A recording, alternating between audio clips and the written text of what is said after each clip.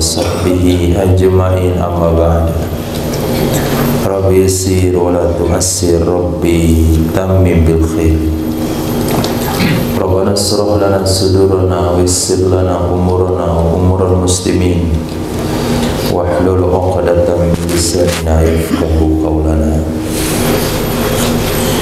بسندنا المتصل إلى الإمام العالم الرباني الخاتم الحفاظ الإمام جلال الدين السيوطي رحمه الله تعالى وقدس الله سره وأدام نفع بعلومه وبركاته ونفحاته ومداته وكرماته في الدارين آمين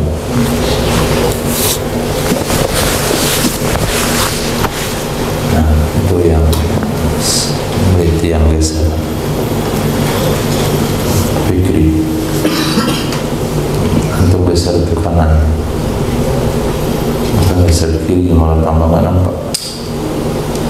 Ah. Kita lanjutkan dengan hadis nomor 6930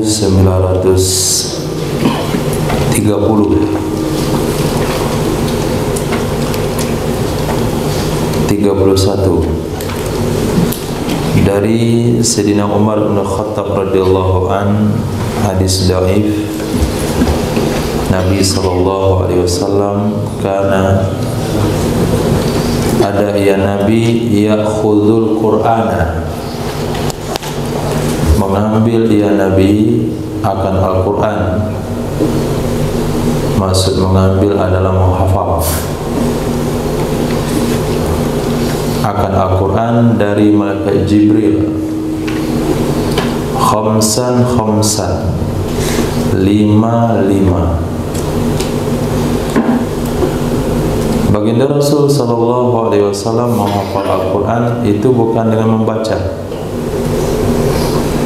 tapi ditalkin. Dulu saya pernah dengar ada pondok di kota Padang bukan? Ada pondok di Sumatera Barat pakai metode ini. Dia ngafalnya ditakir malam itu ditakirkan dulu oleh gurunya Bismillahirrahmanirrahim. Amma yatasa'alun ulang lagi murid ini Anin naba'il azim. Nah selepas itu besok subuh disetorkan. Nah besok malam ditakin lagi, setorkan lagi, takin lagi, setorkan lagi. Jadi nggak bisa ngapal banyak. Nah, Itu metode Rasul dari Malaikat Jibril Kenapa? Karena Rasul nggak pandai baca Nabi nggak baca, nggak pandai membaca, nggak pandai menulis Enggak pandai membaca, enggak pandai menulis bagi Nabi itu adalah keunggulan. Bagi kita kekurangan. Maka disebut dengan Nabi Ummi. Maulana Muhammadin Nabi Ummi wa ala alihi wa sahbihi wa baraka wa sallam. Nabi Ummi. Tujuannya adalah supaya Nabi tidak dituduh mengarang Al-Quran itu sendiri menulis Al-Quran sendiri. Itu pun masih ada tuduhan. Itu Quran karangan Muhammad kata mereka. Tapi yang lain juga mencibir pendapat itu mana pula karangan Muhammad kamu Muhammadnya nggak pandai tulis baca nah lalu bagaimana Nabi menghafal Quran dari Malaikat Jibril ditalkin bagaimana talkinnya lima-lima Nah, lima lima. Ini lima lima apa maksudnya? Lima lima ayat? Lima lima ayat kapan selesainya? Oh ini senang sekali yang setor lima lima ayat. Ikut sunnah Nabi. Nabi setor lima lima ayat. Bukan lima lima. Ada pendapat mengatakan lima lima ayat. Tapi ada juga pendapat mengatakan lima lima ahzab. Lima lima hizib. Tahu hizib? Apa? Zikr Koya Zikr Koya Zikr Nawawi itu yang di Quran itu ada di uh, pinggirnya dibatasi hizib-hizib hizib. Satu, hizib dua. Nah itu satu-satu itu Nabi setoran. Ada riwayat mengatakan lima-lima surat. Nah lima-lima surat sekali hafal dari malaikat jibril itu lima surat, lima surat, lima surat. Nah itu ambil yang mana? lima-lima ayat, lima-lima hizib, lima-lima surat. Sabaknya sabak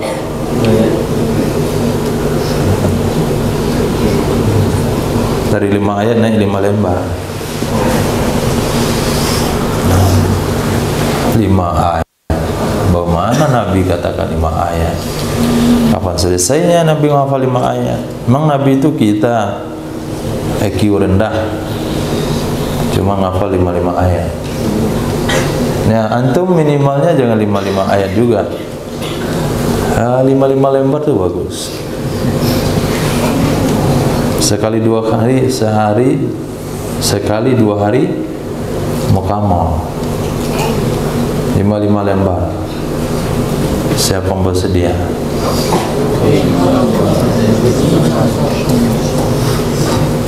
Siapa yang bersedia?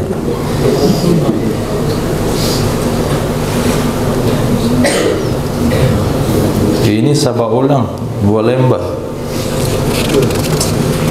Sebab ulang satu lembar.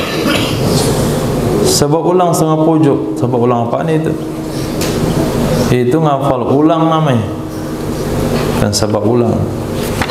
Sebab ulang lima-lima juz. Nah kalau ngafal Lima-lima lembar. Baru Pelajar tahfiz. Berapa antum ngafal? Enam bulan. Terus apa Dua hari Nah, ini motivasi bagi yang berjalan di tempat. Harus ada peningkatan. Peningkatan. Kemampuan seseorang itu bergantung kepada kepercayaan dirinya. Kemampuan seseorang bergantung kepada kepercayaan dirinya. Ketika dia tidak punya kepercayaan diri, maka dia tidak akan pernah mampu. Maka harus ada dalam hatinya saya bisa. Itu yang pertama. Jangan pernah mengatakan saya tidak bisa, katakan saya bisa. Itu lampu sengaja dimatikan kenapa? Di tengah ini.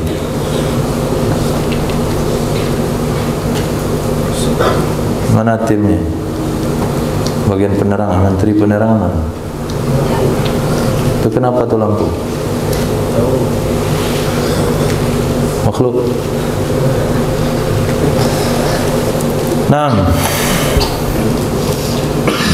dalam hal apa saja belajar apa saja harus kita punya keyakinan diri saya bisa. Nah, ketika kita sudah mengambil kesimpulan saya bisa, maka Allah akan berikan kemampuan tersebut karena Allah janji dalam hadis Nabi ana inda zanni abdibi aku akan berbuat sesuai dengan prasangka dia kepada aku. Nah harus berprasangka dengan Allah. Husnuzan saya bisa. Kalau keseringan bilang saya enggak bisa saya enggak bisa saya enggak bisa bakalan enggak bisa Karena Allah akan berbuat seperti prasangkamu kepada Allah. Nah, bisa lima lembar sehari? Nah. Karena ada ya Rasul sallallahu alaihi wasallam ya'khudul miska mengambil ya Nabi sallallahu alaihi wasallam akan kasturi minyak kasturi. Sahu maka mengusapkan ya Rasul sallallahu alaihi wasallam dengannya minyak kasturi ra'sahu ke kepalanya Nabi walihyatahu dan jenggotnya Nabi sallallahu alaihi wasallam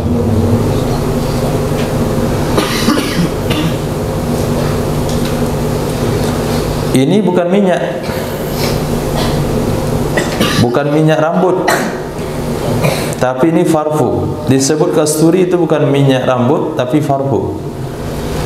Tidak ada minyak rambut yang dalam dikenal dalam dalam sirah nabawi itu kasturi. Yang adalah minyak zaitun. Itu untuk minyak tapi ketika disebut kasturi, disebut oud, disebut ambar, disebut khaluk, itu farfu. Maknanya Nabi memfarfumi rambut dan jenggot. Les, kasih ke rambut, kasih ke jenggot. Pasang peci. Nah, ketika peci dibuka, harum. Tapi kalau nggak difarfumin, ketika peci dibuka bau afak afak afi afi afi bau busuk susah kali makhrajnya bau busuk. Nah. Jadi objek parfum hari ini bukan hanya ke baju tapi juga ke rambut dan juga ke jenggot karena ada ya Rasul sallallahu alaihi wasallam ya'khudhu mengambil ya Nabi atau memotong ya Nabi min lihyatihi dari jenggotnya Nabi sallallahu alaihi wasallam min ardiha dari lebarnya jenggot watuliha dan panjangnya jenggot. Sedina Muhammad sallallahu alaihi wasallam kalau mau merapikan jenggot itu bukan hanya bagian bawah saja, bukan bagian panjang saja dirapikan. Tapi juga bagian pinggir. Nah, ini mengajarkan kepada kita rapi.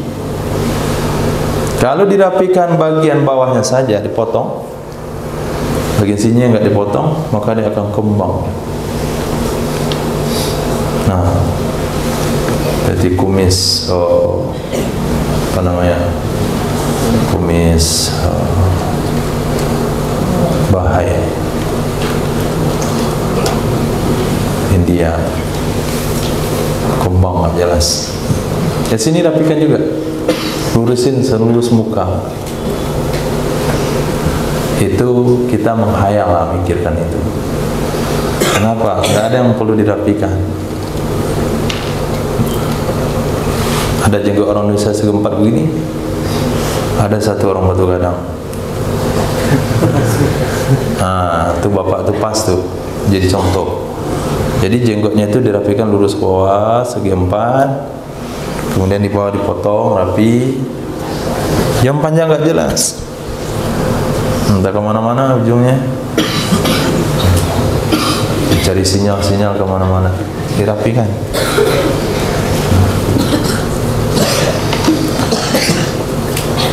Karena adalah Sayyidina Muhammad sallallahu alaihi wasallam yakulu memakan ia Sayyidina Rasul abitih semangka birutabi dengan korma basah. Semangka dengan korma basah. Kemarin ada riwayat semangka di antara buah-buahan yang Nabi paling sukai.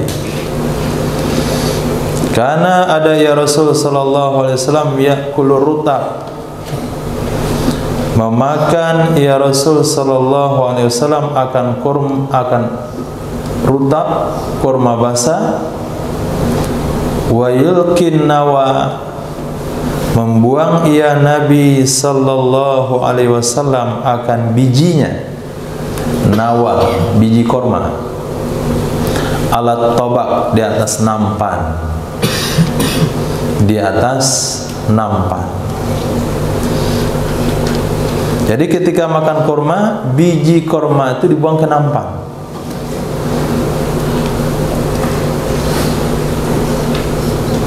Dan biji korma bisa digunakan untuk jadi makanan kuda. Dan biji korma juga bisa diolah buat jadi kopi. Kopi biji korma.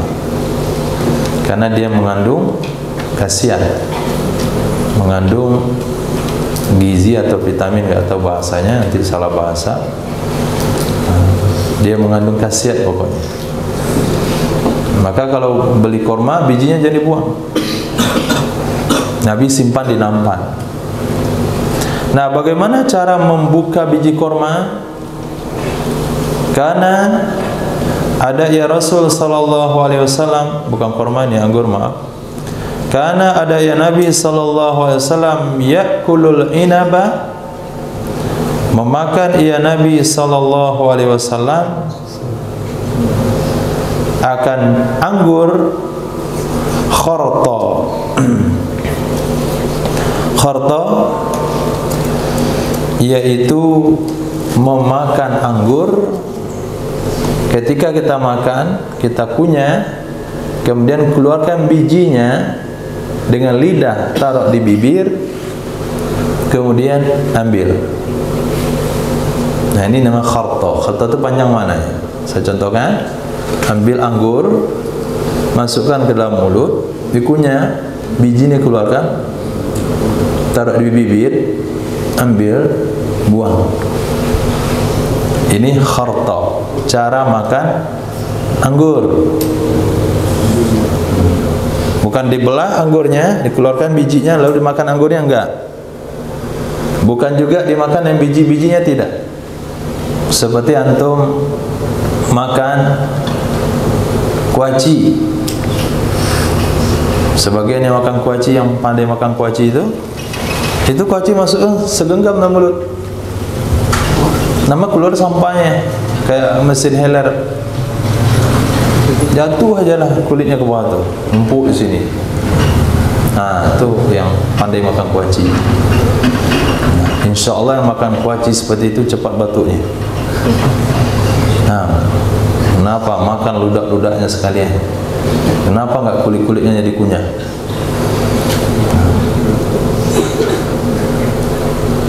Dan hati-hati, ada sebagian kuaci yang indikasinya bagian luarnya itu dicampur dengan najis. Nah, terutama yang ada mere apa itu? Bungkusnya kayak koran, ada warna merah di situ. Ha, itu diindikasikan dapat informasi berita itu bercampur pengolahannya dengan najis. Nah kalau mau makan kuaci itu dengan tangan yang kering buka kulitnya kemudian isinya jadi makan. Tapi kalau antum basahi tak akan termakan najis. Karena dicampur dengan najis baby nah itu kan baru informasi. Mana subhat kalau subhat jangan dilakukan. Kalau enggak beli alat alat untuk memisahkan kulit kuaci.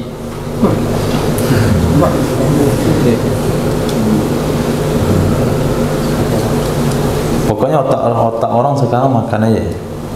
Sampai dipikirkan alat untuk buka kulit kuaci juga sehingga mudah memakannya Nah, kita enggak ada urusan yang kuaci, urusannya dengan anggur. Bagaimana cara Nabi makan anggur? Nabi memakan anggur, memasukkan anggur ke dalam mulut, kemudian memisahkan bijinya ditaruh di bibir, kemudian diambil dengan tangan. Ini cara Sayyidina Rasul memakan anggur.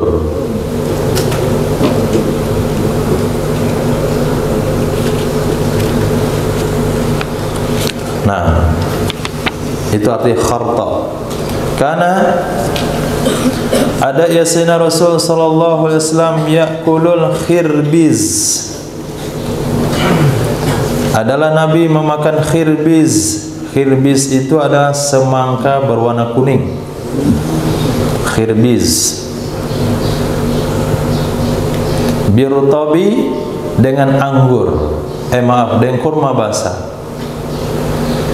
Wa yakul berkata ya sayyidina rasul sallallahu alaihi wasallam huma atyaban kedua-duanya mewangikan kedua-duanya. Termasuk buah-buahan yang memiliki wangi. Kalau buah-buahan memiliki bau wangi maka dia akan memberikan kesan bau wangi. Wangi kepada mulut wangi kepada bau badan. Maka untuk mewangikan bau badan makan semangka kuning dengan kurma basah. Jadi enggak perlu pakai pewangi ketiak. Hati-hati pakai pewangi ketiak yang pakai alkohol enggak sah salatnya. Jangan asal wangi yang terpakai di ketiak nah baca dulu komposisinya. Ada alkoholnya? Jangan dipakai. Kalau ada alkoholnya pakai ketika main bola saja. Itu mandi. Jangan pernah dipakai untuk ibadah karena alkohol najis. Terlepas apakah ada mengatakan alkohol yang ini enggak najis alkohol itu yang najis ini yang bersih ini enggak apa-apa? Khilafiyah ulama dalam amal kita kalau bilang najis sudah. Jangan sampai menempatkan amal ibadah kita ke dalam kondisi tidak aman. Cari yang lain. Nah, salah satunya dengan konsumsi semangka kuning. Ada semangka kuning? Dengan anggur basah. Kurma basah karena adalah Sayyidina Rasul sallallahu alaihi wasallam yakulul hadiyah. Makan ia nabi akan hadiah. Wala yakulus sadaqata. Dan tidak memakan ia Rasul akan sedekah baik sedekah wajib yaitu zakat atau sedekah sunnah. Nabi tidak makan sedekah karena sedekah adalah daki harta manusia. Karena adalah pensuci. Kalau pensuci berarti pembersih. Yang bersihnya ada sama pemiliknya, pembersihnya ada sama yang menerimanya. Maka tidak halal bagi keluarga Nabi mau makan sodako tapi Nabi makan hadiah karena adalah baginda Rasul sallallahu alaihi wasallam yakulu kitha memakan semangka dengan rutak nah kisah ada matikan timun Nah, kalau bisa kita maknai kita ini semangka yang seperti timun. Semangka apa? Semangka yang seperti timun, semangka apa? Semangka panjang. Yang panjang kan seperti timun dia. Nah, bitih yang bulat. Hirbis yang kuning. Kisah yang panjang yang intinya semangka semuanya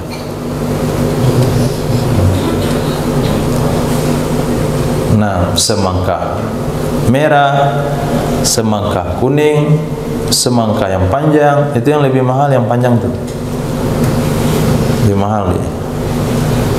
Nomor dua yang kuning. Nomor tiga merah. Nomor empat merah yang banyak biji. Nomor lima yang kagak manis.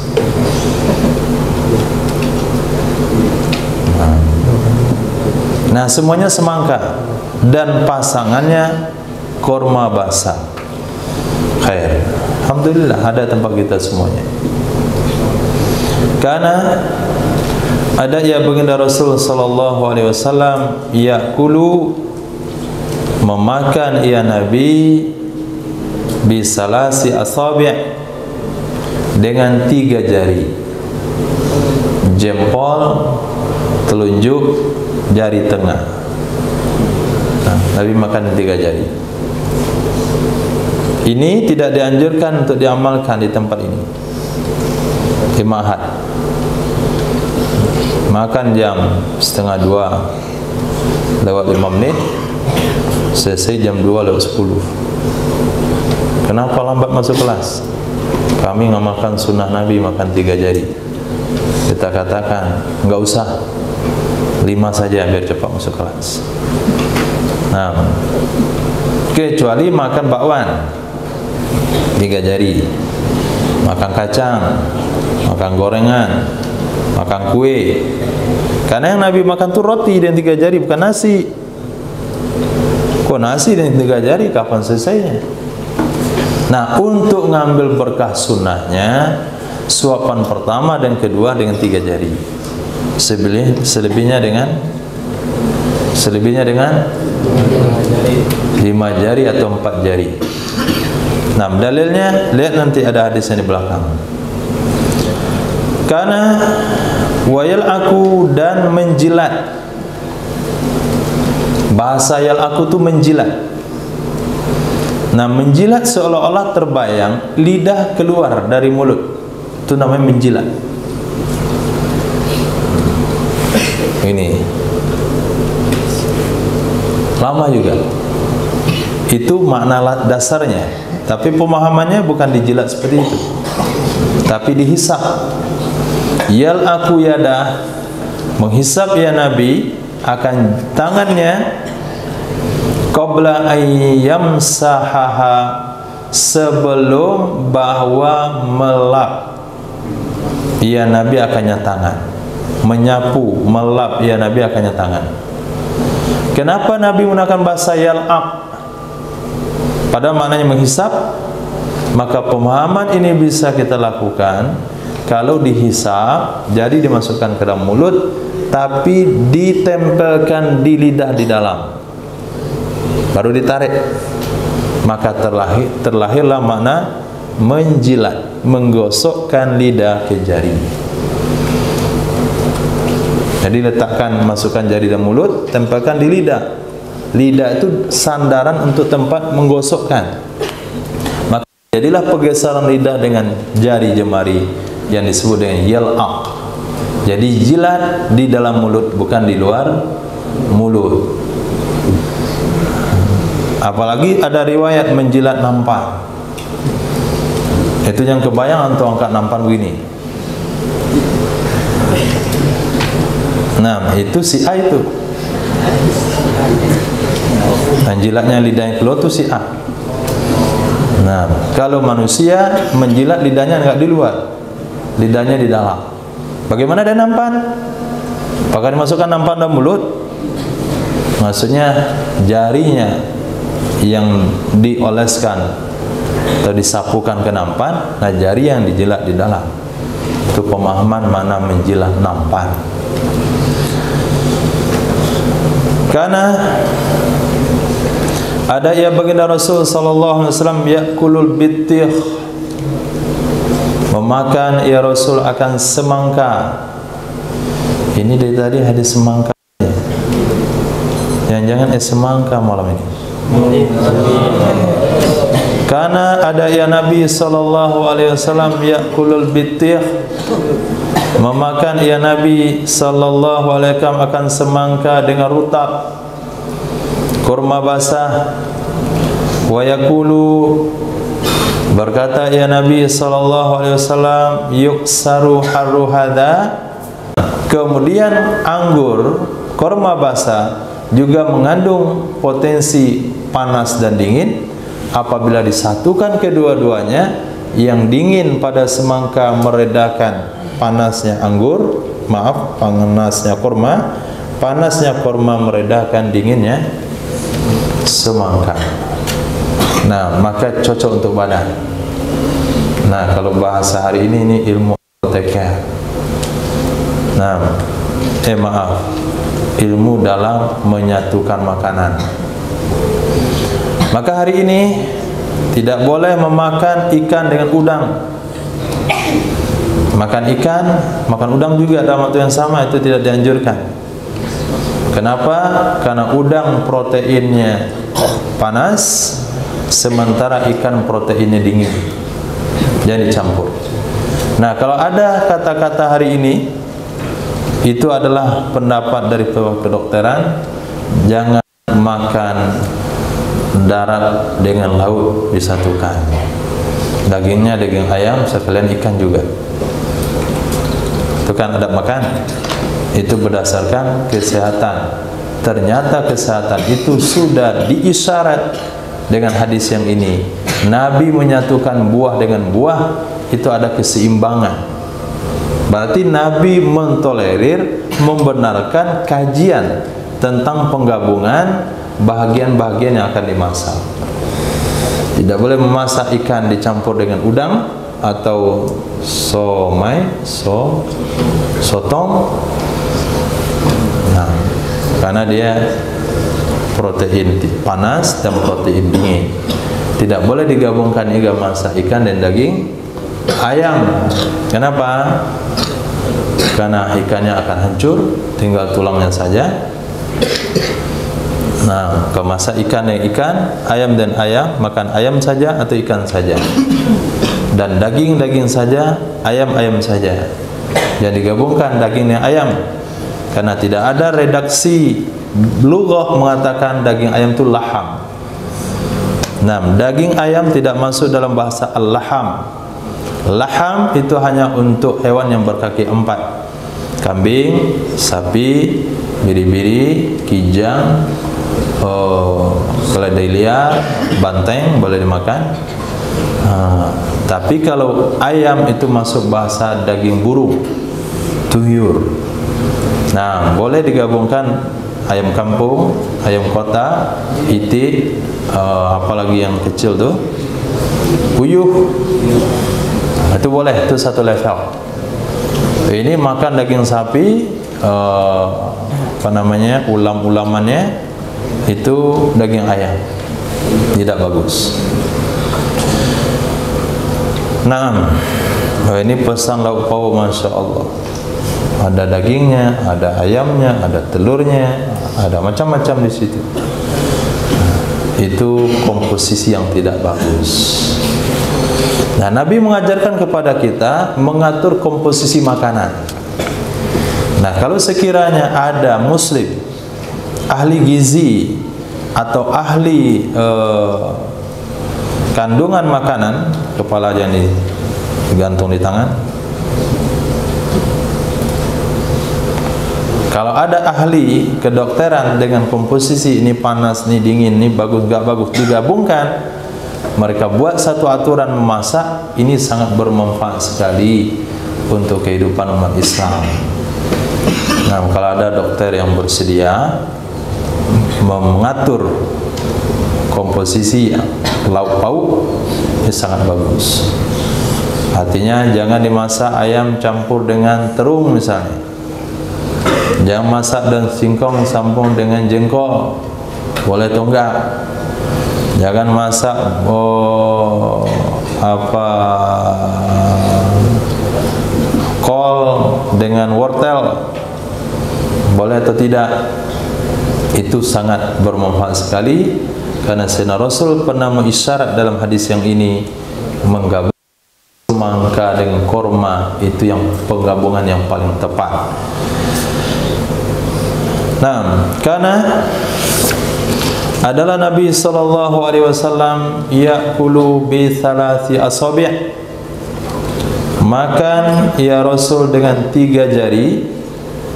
Wa ista'inu birrabi'ah yang saya masukkan tadi Nabi akan membantu dengan jari keempat bila diperlukan.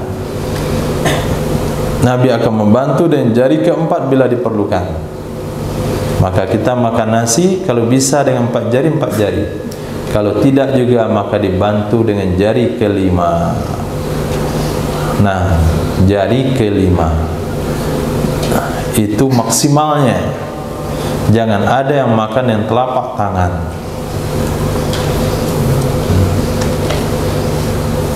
Itu orang Arab yang baru kurut ke Indonesia kasih sarapan pagi nasi. Jadi bingung dia makan dia enggak pandai makan pakai jari. Maka antum diajarkan makan dulu kecil. Belajar makan. Sampai susah menstel jari itu bagaimana cara makan? Ya, makan gini dia.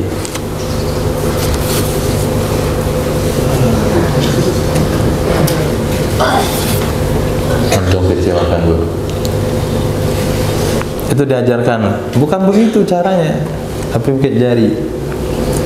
Nah bagaimana menstel jari itu? Sampai di mulut dia ada gaya tekanannya ke dalam enggak ke gigi dan tarikannya ada refleks saking fasihnya. Nah itu yang ngajarin dulu mak bapakmu. Wa kanal insanu jahula. Saking bodohnya itu perlu diajarkan makan. Dan tidak ada riwayat dalam kehidupan kita lihat kambing baru lahir diajari makan oleh maknya. Dia pandai sendiri. Sapi juga pandai sendiri. Tapi manusia sampai makan pun diajarkan. Nah ada sampai hari ini enggak pandai makan dengan tangan. Masih dengan sendok. Jarinya kaku kalau makan nasi. Karena ada ia Sayyidina Rasul sallallahu alaihi wasallam yakulu memakan ia Nabi mimma dari sesuatu massatin nar yang dimasak oleh api. Masak arti bahasanya disentuh. Maksud disentuh masaknya pakai bantuan api. Apakah itu direbus atau dibakar? Summa yusalli kemudian salat ia baginda rasul wala yatawaddau dan tidak berwudu ia Nabi sallallahu alaihi wasallam. Kenapa hadis ini diriwayatkan? Hadis ini diriwayatkan berkaitan dengan awal-awal Islam dulu. Nabi setiap selesai makan, Nabi berwudu. Karena awal-awal Islam wudu batal, wudu batal kalau memakan makanan yang dimasak. Maka ulang lagi wuduknya. Tapi di akhir Islam Nabi menasah hukum tersebut. Bahasanya setelah memakan makanan dimasak enggak perlu mengulangi wuduk karena wuduk tidak batal.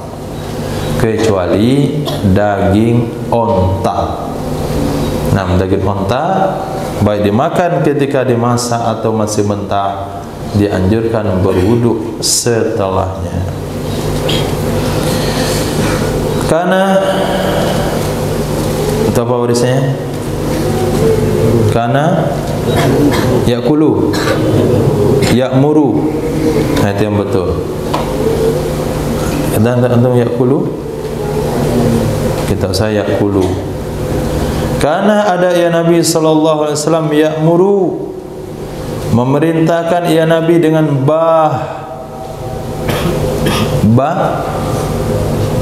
Bah. Bilbahi.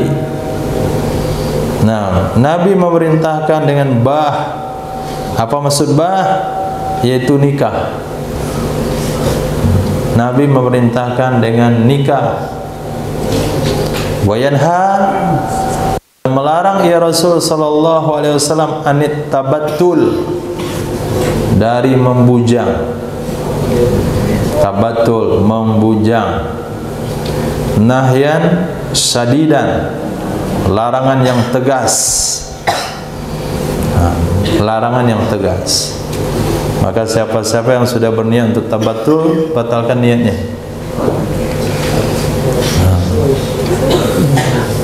saya enggak akan nikah-nikah. Bahkan kalau ada yang bersumpah sekalipun wallahi saya enggak akan menikah-menikah maka dianjurkan untuk membatalkan sumpahnya dan membayar kafarat sumpah. Karena Nabi melarang tabattul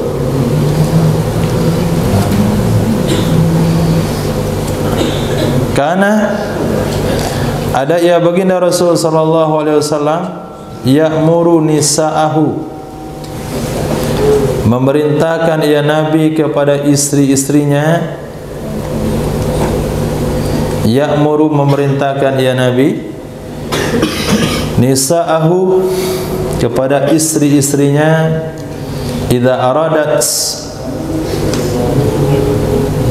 apabila menginginkan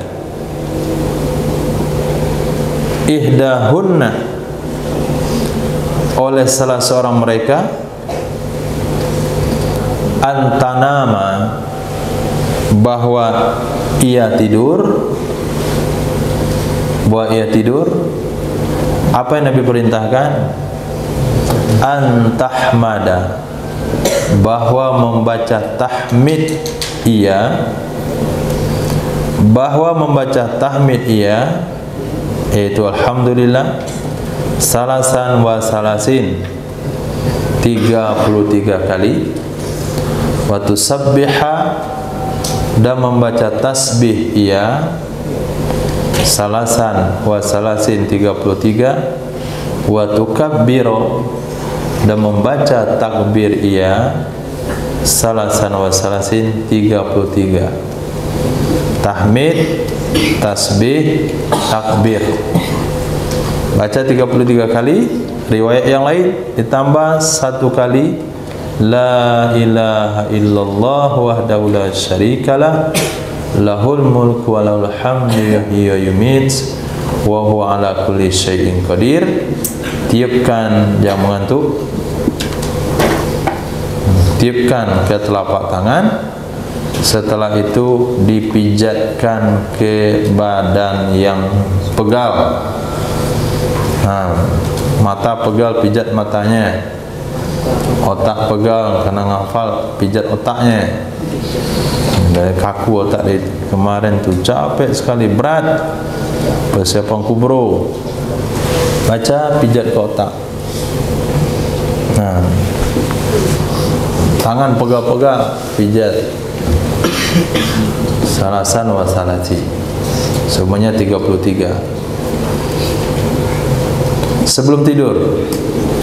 Karena ada ya baginda Rasul sallallahu alaihi wasallam ya'muru. Ini kayaknya setelah kana ya'muru ya'muru dulu. Memerintahkan ya Nabi bil hadiyah dengan memberi hadiah. Silatan bainan nas karena menyambung hubungan sesama manusia. Silatan karena menyambung hubungan menyambung hubungan bainana sesama manusia. Di sunnah kita memberi hadiah. Nah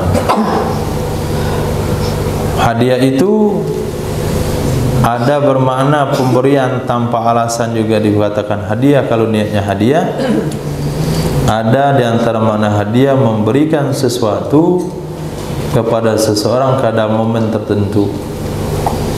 Nah, teman kita baru selesai kubro. Nah, selesai dia kubro kita kasih hadiah. Nah, segelas air putih. Nah, atau kita kasih uh, apa namanya itu rangkaian bunga. Nah, bunganya di uang tapi atau satu bunga atau parfum atau siwak. Nah atau pokoknya sesuatu yang berharga. Parfum siwak oh, peci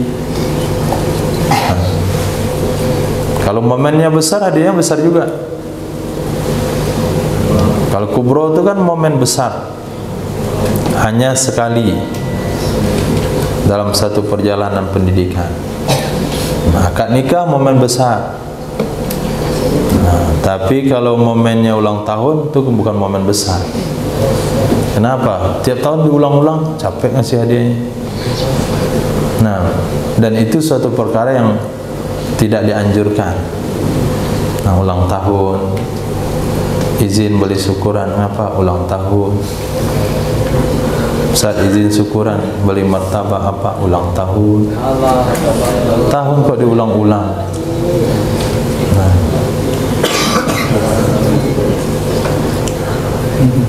tapi bagus juga ala kuliah Dapat kawan yang bikinkan martabak. Karena dia ulang tahun. Niatnya sodako. Tak ada masalah sih niatnya sodako. Tapi bukan terlalu perkara yang terlalu penting gitu. Sampai kalau ibu bapaknya lupa dia jadi itu merajuk. Nah, merajuk dia. Kenapa ulang tahun saya enggak dibawakan hadiah? Ulang tahun hari ini kok hadiahnya minggu depan? Kan sudah sepesan ulang tahun bawain Rasulullah 30. Ini bukan perkara yang penting. Karena itu momen yang berulang-ulang. Kalau tahun ini gagal ulang tahun ya besok. Ya minimal waktu dia sekarang kita ulang tahunnya sekali. Khair. Tapi ulang tahun Nabi penting. Nah, ulang tahun antum enggak terlalu penting. Karena keberadaan antum bagi umat enggak terlalu penting. Wa ma arsalnaka illa rahmatan lil alamin? Tidak. Rahmatan lil alamin hanya sayyidina Rasul sallallahu alaihi wasallam. Nah, kadang-kala wa ma arsalnaka illa beban lil alamin wa ma arsalnaka wa ma akhrajnaka illa uh, memberatkan lil alamin. Menyusahkan lil alamin. Itu untuk apa diulang tahunnya itu? Orang-orang menyusahkan lil alamin.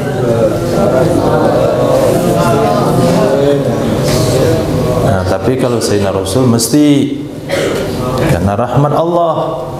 Qul bi fadlillahi wa bi rahmatihi fa bidzalika falyafrahu. Itu kalau salafi mau tanya dalil Maulid Nabi dalam Al-Qur'an.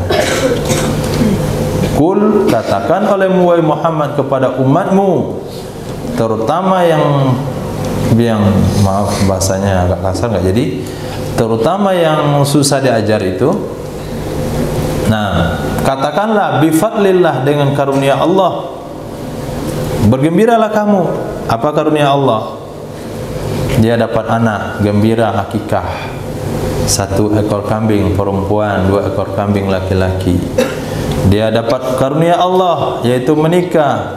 Aulim walau bisyatin. Bikinlah kenduri walaupun seekor kambing. Kemudian ayatnya wa bi rahmatihi kalau kamu dapat rahmat Allah, falyafrahu, gembira juga. Mana di antara rahmat Allah? Dia pergi ukur dapat taskilan satu kampung. Mesti bergembira buat syukuran. Nah, ada orang masuk Islam buat syukuran. Itu rahmat Allah.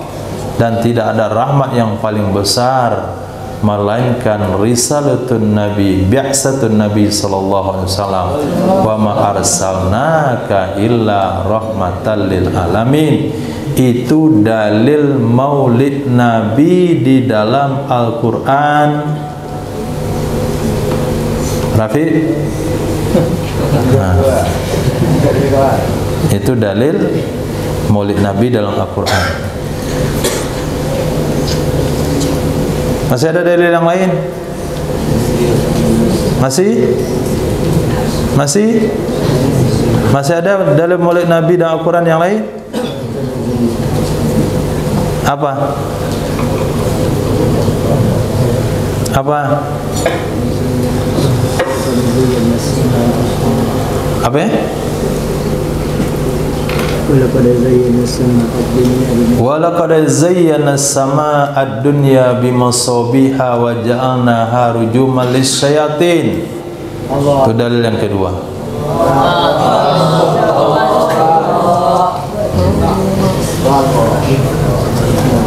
kata orang dungu mana pula nyambungnya itu nah gini dijelasin biar antum enggak selalu dungu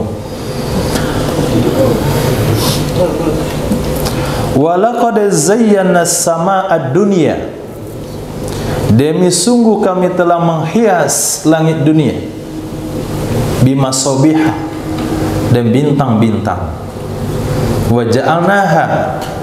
Dan kami jadikan bintang itu rujuman lisyayatin. Jangan duduk seperti Abu Jahal.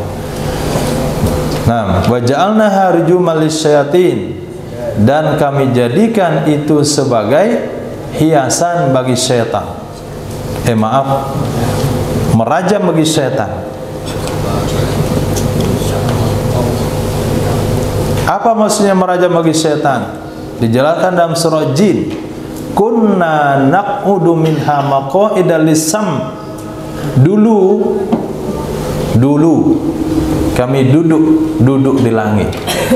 Duduk untuk mencuri dengar informasi dari atas langit maq'ida lisam famay yastami'il an siapa yang dengar-dengar informasi sekarang wa may yastamil an yajid lahu yajid lahu sihabar rasada dia akan temukan bintang yang akan menyerbunya.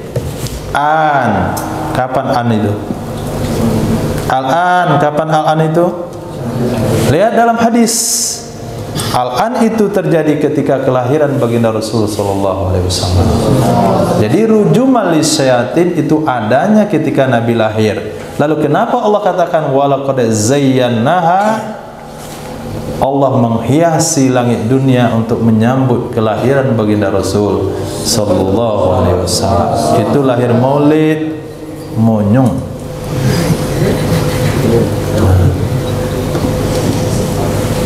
Tapi kalau kalau mau cari dalilnya to the point ya kagak ada.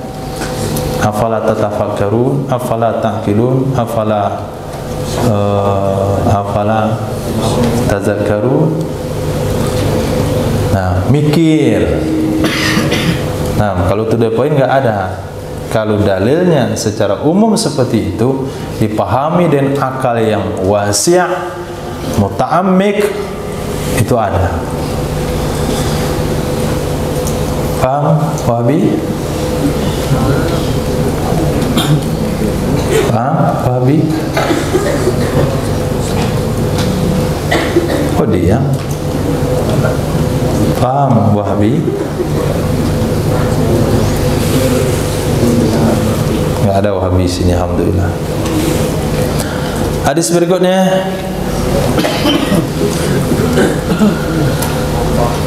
Apa urusannya tadi itu?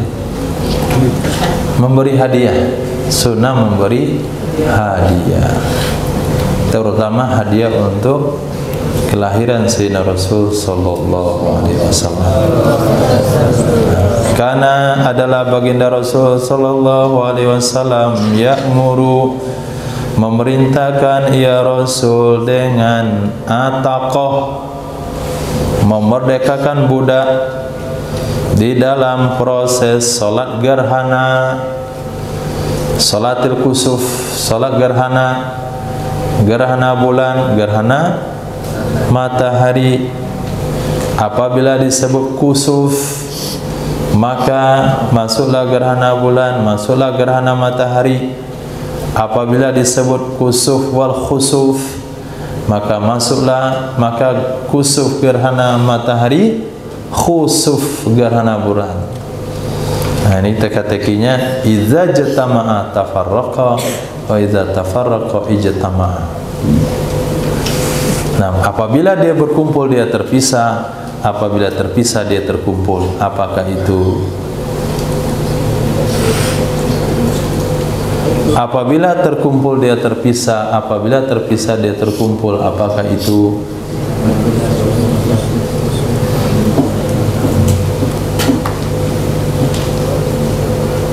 Apa mas?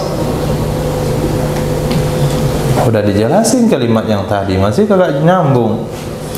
Ah, Susah nih urusan mantu Kusuf sama khusuf. Kalau terkumpul Kusuf wal khusuf Maka mana terpisah. Kusuf matahari, khusuf bulan. Tapi kalau terpisah Kusuf doang Satu seorang disebut Maka mana terkumpul Gerhana matahari dan gerhana bulan. Nah, kemarin ada teka-teki disampaikan oleh Syekhuna.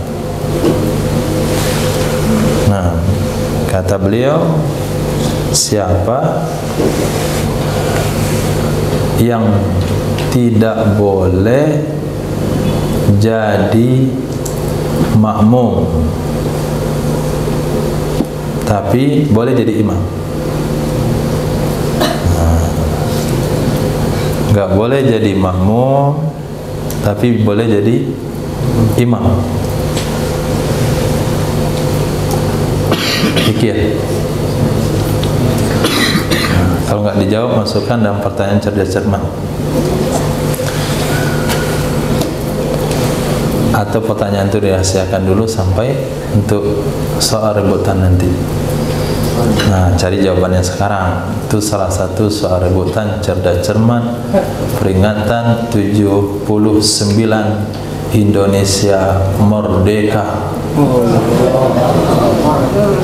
Sudah 79 tahun Indonesia merdeka. Tapi rakyatnya tetap tidak merdeka.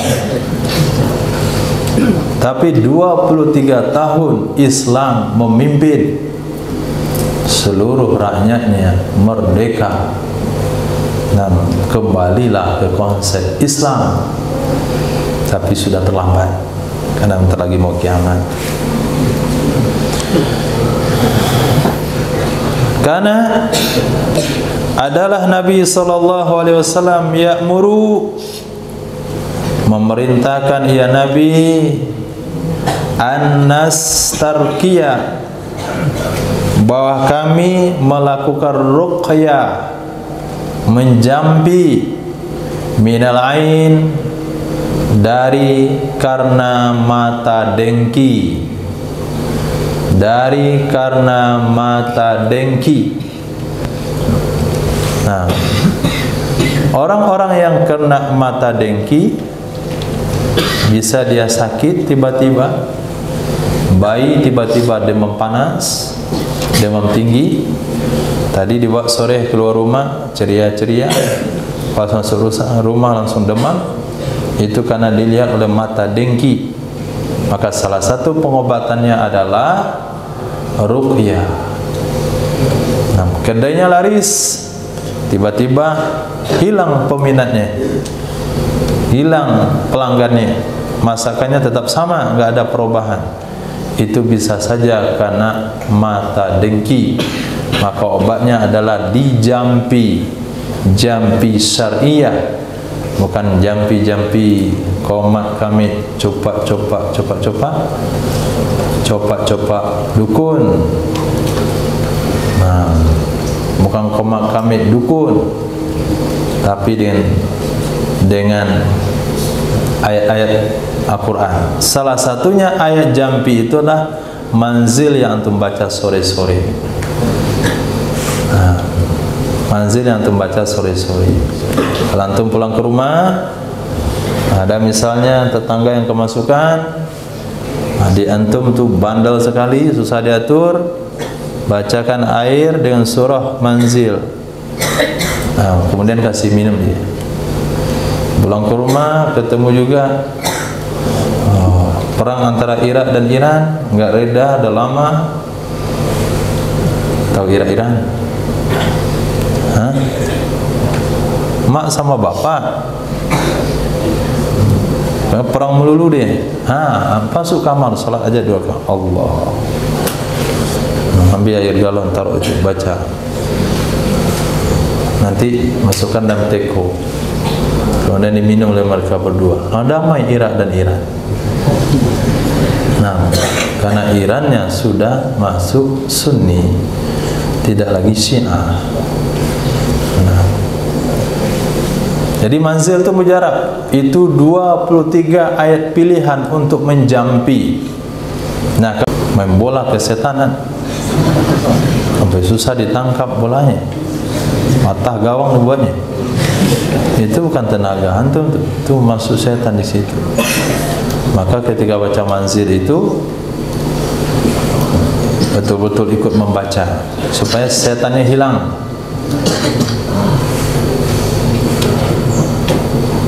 Terakhir. Karena ada ya Nabi Yuna Muhammad sallallahu alaihi wasallam ya'muru memerintahkan ya Nabi bi ikhrajiz zakat.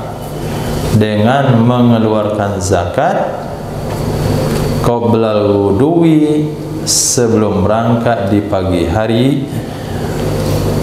untuk solat pada hari Idul Fitri. Salat pada hari raya fitri hadis Imam At-Tirmizi. Zakat apa? Zakat fitrah. Sunnah dibayar sebelum berangkat pagi yaitu di malam hari. Nah kalau zakat dikelola oleh badan tertentu maka kita serahkan beberapa hari sebelumnya supaya malam Idul Fitri itu bisa dibagikan kepada fakir miskin. Karena tujuan dari zakat fitrah itu adalah berbahagia pada besok pagi harinya.